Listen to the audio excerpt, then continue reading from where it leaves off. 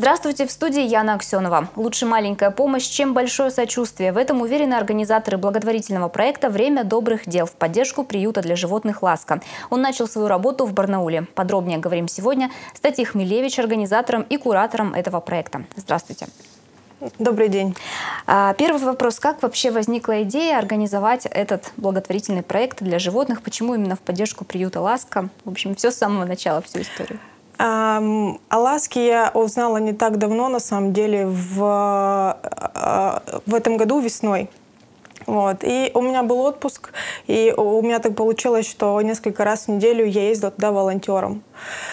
И мне реально захотелось этим ребятишкам всем помочь, но от одной меня это мало помощи. Я решила объединить жителей нашего города.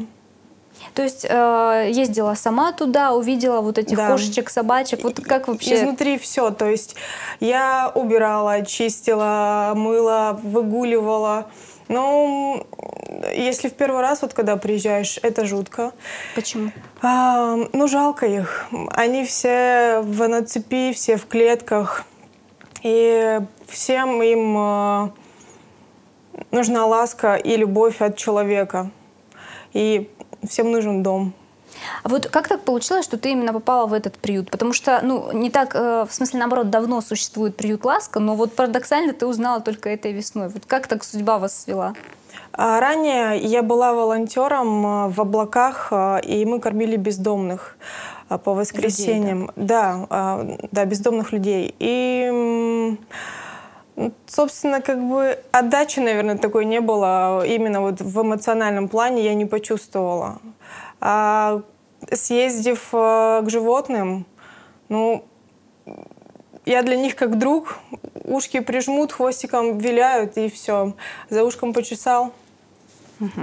Так, ладно, возникла идея организовать такой проект. Дальше что у нас? Э, какие шаги следовали? А несколько месяцев я обдумывала, что и как, а, и зачем, там, кого привлечь, что нужно сделать, а, на какую аудиторию нужно выйти. И вот несколько месяцев это все у меня росло в голове. Вот и далее я решилась ну вот как будет работать проект, какую можно будет помощь оказать, как это сделать э, неравнодушным э, жителям Барнаула, которые бы тоже хотели внести лепту какую-то? Что можно пожертвовать? Он уже начал работать э, именно с сегодняшнего дня. А, а, его срок на проведение две недели. А, можно помочь. Это физическая, в первую очередь, да, помощь именно в приюте «Ласка». Это материальная помощь, а, еда, инвентарь, лекарства, что-то для приюта, стройматериалы. И, и это финансовая помощь. А все подробности у меня на страничке можно в ВК посмотреть. И в Инстаграме также. А как участников привлекать будете? Уже привлекаем. Это рассылки по имейлу на многие предприятия нашего города. Раздаю листовки, хожу. Сама, да? Да, сама раздаю листовки по магазинам, по торговым центрам. А, удивительно, что люди реагируют очень адекватно и очень-таки дружелюбно. То, то есть есть уже какие-то отклики, да, получается? Да, уже начали за эту неделю, вот неделя превью была, небольшие денежные средства поступили на карту. Люди откликаются, люди спрашивают, люди пишут. Есть склад в районе ВДНХ, рынок ВДНХ а, для материальных дарений. То есть туда можно принести еду, лекарства, да, какие-то? Да, да, но заранее созвонившись, э, естественно, со мной и согласовать по времени. А крупные предприятия уже какую-то помощь оказывали? Может быть, перечисляли средства какие-то, либо крупную партию корма там, например? Нет, нет. Пока еще нет. Mm -mm. А вот в дальнейшем планируется ли проводить подобные какие-то акции? То есть вот две недели сейчас пройдет, какие-то итоги подведете, и дальше что? На этом все или это все войдет в традицию?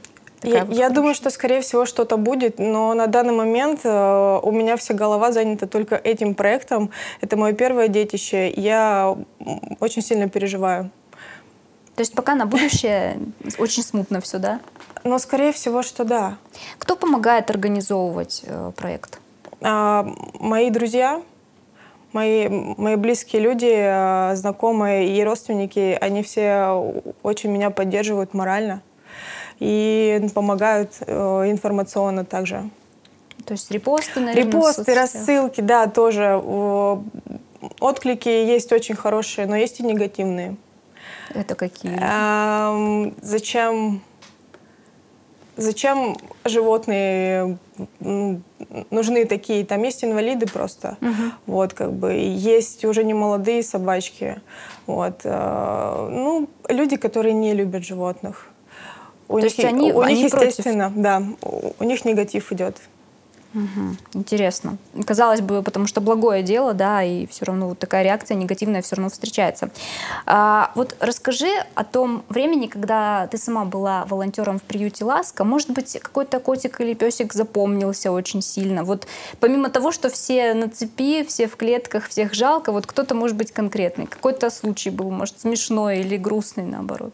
У меня до сих пор есть любимцы там, и их много – а, но по истечению обстоятельств меня не было, наверное, месяца два. Я приехала, узнала о смерти одного из моих любимцев. Вот. Он был молодой, но не так здоров, как бы на цепи.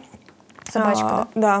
Да. Условия как бы все-таки, их много, и ребята, которые там работают, ну, к сожалению, они не всем уделить могут времени и э, уследить за кем-то именно вовремя. А вообще вот сколько там сейчас животных и кто там есть, кроме там собачки, кошечки? Знаю, что лошадь была даже какое-то Есть время. Э, две лошади, у них родился же ребенок этим летом. Есть э, еще коза была.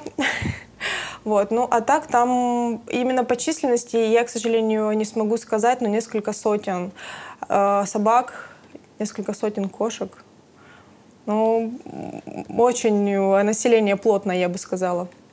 А, вот наверняка ты перед тем, как такой проект организовать, э, изучала опыт каких-то других регионов. Может быть, за основу взяла чью-то акцию там соседнего Новосибирска или, или на будущее, наоборот, хотела бы вот что-то такое? Если честно, то я ничего не изучала. Я все по наитию, так сказать, по своей душе. А на будущее, естественно, как бы мне хотелось бы улучшить э, свои знания в, в плане организации таких мероприятий.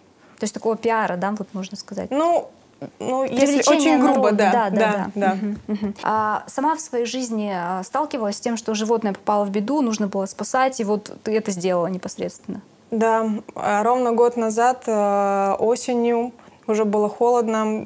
Я спасла маленького таксеныша и отдала э, его в добрые руки через несколько дней. И этим летом я спасла котенка, и он живет теперь у меня.